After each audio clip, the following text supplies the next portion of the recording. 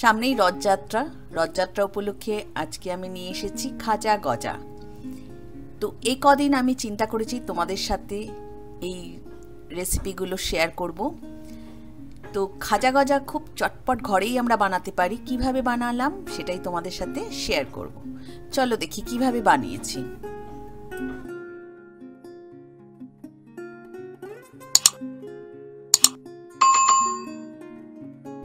এর আগের দিন তোমাদেরকে দেখিয়েছি মুরালি, আজকে দেখাচ্ছি খাজা গজা।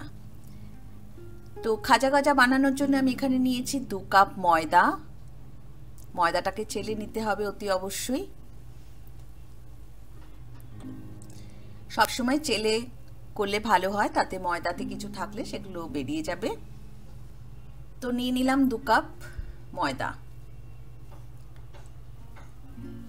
আমার চ্যানেলে প্রত্যেকটা রান্না দেওয়া আছে। রান্নাগুলো যদি ভালো লাগে, অতি অবশ্যই লাইক করো শেয়ার করো সাবস্ক্রাইব করে রেখো। এর মধ্যে দিয়ে দিলাম হাফ টিস্পুন নুন।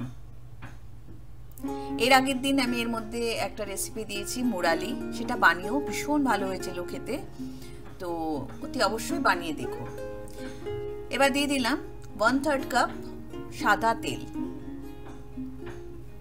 সাদা তেলটা ভালো করে ময়দার সঙ্গে মেশাতে হবে। হাতে খুবই ভালো করে মেশাতে আমি দেখিয়ে দিচ্ছি কীভাবে। দু হাত দিয়ে এরকম ঘষে ঘষে মেশাতে হবে, যাতে ময়দাটা আর তেলটা সব জায়গায় যেন মিশে যায়। এটা এইভাবে কিন্তু অতি অবশ্যই মেশাবে। তারপরে হাতে এরকম মোট করে দেখে নিচ্ছি হ্যাঁ এরকম শক্ত একটা দলা মতো হবে। তারপর ভেঙে দিলে ভেঙে যাবে। এরকম হলে বুঝবে তেলটা ঠিক আছে। আর এইভাবে ভালো করে আরও মিশিয়ে নিচ্ছি। দু মিনিট ধরে এটাকে এইভাবে মেশাতে হবে। যত ভালো মিক্সড হবে, তত ভালো খেতে হবে। আরেকবার আমি চেক করে দেখিয়ে দিচ্ছি। দেখো।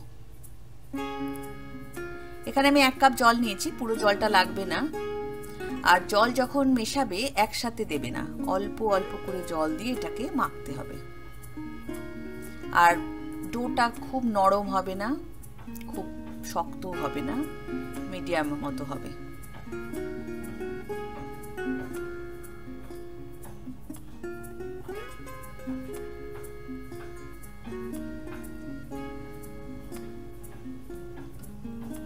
যারা এখনও সাবস্ক্রাইব করে রাখুনি সাবস্ক্রাইব করে রেখো। তাহলে আমি যখনই কোনো ভিডিও দেব, সাথে সাথে পেয়ে যাবে। আর পাশের বেল আইকনটাও ক্লিক করে রেখো। ময়দাটা মাখা হয়ে গেছে। দেখো, এরকমভাবে মাখা হবে। এটা একটু সাইড করে আমি রেখে দিচ্ছি একটা ঢাকা দিয়ে। এবার আমি একটু চিনির শিরাটা বানিয়ে নেব। এক কাপ নিয়ে নিলাম চিনি, আর এতে নেব হাফ কাপ জল। শিরাটা একটু গাঢ় হবে। এক তার দু তার দরকার হবে না। একটু গাঢ় করতে হবে। তো হাফ কাপ জল নিয়ে নিলাম। চিনিটা জলের সাথে গুলে যাওয়া পর্যন্ত অপেক্ষা করছি। এবার এর মধ্যে দিয়ে দিলাম হাফ টি স্পুন এলাচ গুঁড়ো। যদি গুঁড়ো এলাচ না থাকে, গোটা এলাচ দুটো থেতো করে দিয়ে দিতে পারো।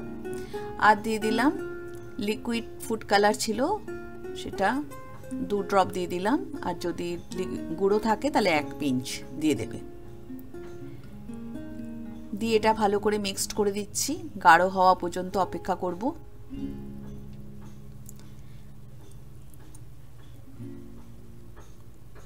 খুব বেশি সময় লাগে না বাড়িতে বানাবে। আর দিয়ে দিলাম হাফ টিস্পুন লেমন জুস। ময়দাটা এইভাবে নিয়ে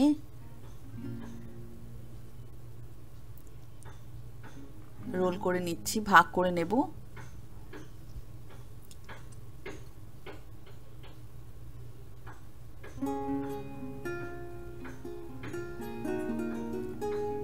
সমান লেচি কেটে নিচ্ছি।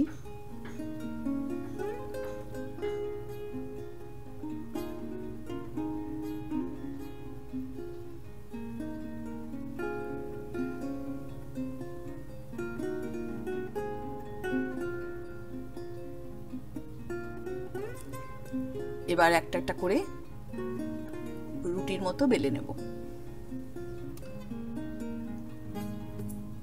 সব কটা লেচিকে একসাথেই বেলে নিতে হবে।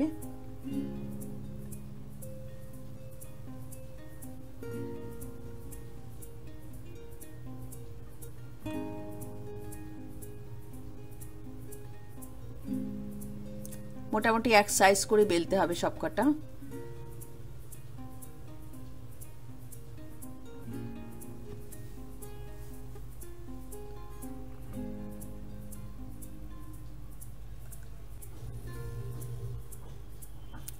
কটা প্রত্যেকটা রুটির মতো বেলা হয়ে গেল। এবার এক একটা রুটির মতো নিয়ে ওর মধ্যে তেল লাগিয়ে দিচ্ছি। আর উপর দিয়ে ময়দা কিংবা কর্নফ্লোর, যেটা সুবিধে হয়, ময়দা দিলেও হবে, কর্নফ্লোর দিলে হবে। দিয়ে আবার একটা করে রুটি ওর মধ্যে দিয়ে আবার ময়দা ছড়িয়ে দিচ্ছি। এইভাবে তিনটে, চারটে এরকমভাবে ফোল্ড করে নিতে হবে।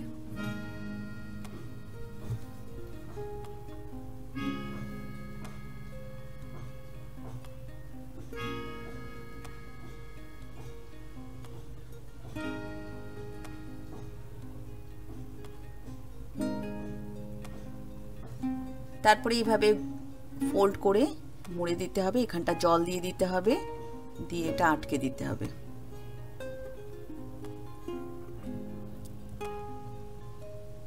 ঠিক এইভাবে করে তারপরে সমানভাবে আবার লেচি বার করে নিতে হবে।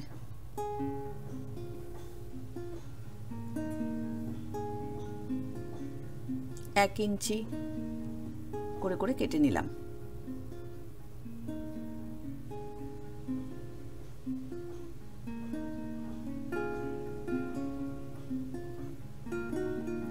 দেখো সাইডটা রেখে দিতে হবে, মাঝখানটা চাপছি।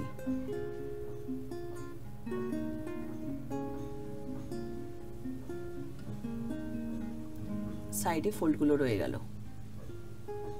ঠিক এইভাবে প্রত্যেকটা হালকা হাতে চেপে বেলে নিতে হবে।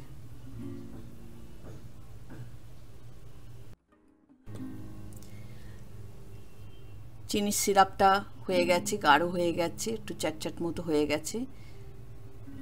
একটার থেকে একটু কম করেছি। তো এটা আমি সাইডে সরিয়ে রাখছি।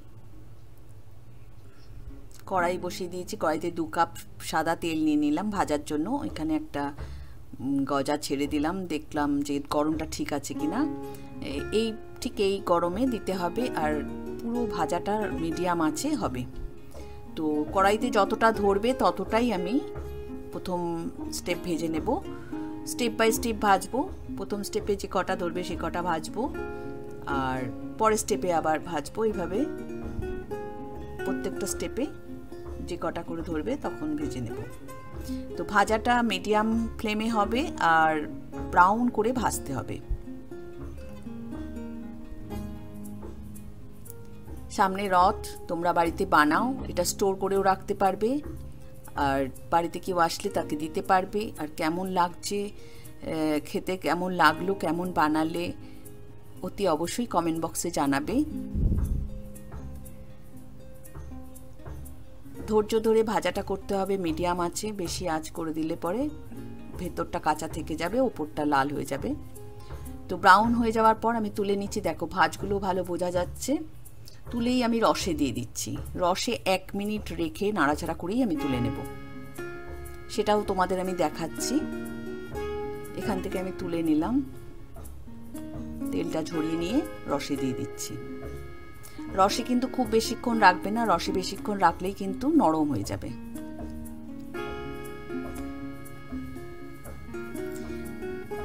সেকেন্ড স্টেপে যে কটা হবে, সেই কটা দিয়ে দিচ্ছি। যেহেতু কড়াইটা একটু ছড়ানো মতো অনেকগুলো দিতে পারছি, তোমাদের যেরকম জায়গায় তোমরা করবে সেই বুঝে সে কটা করে করে ভাজবে।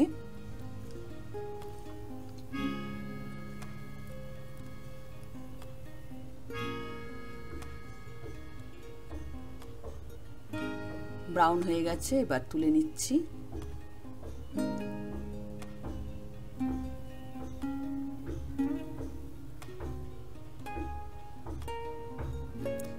বেশি উপকরণও লাগে না, আর বেশি সময়ও লাগে না। আর খেতে আমার মনে হয় সবাই খুব ভালোবাসে।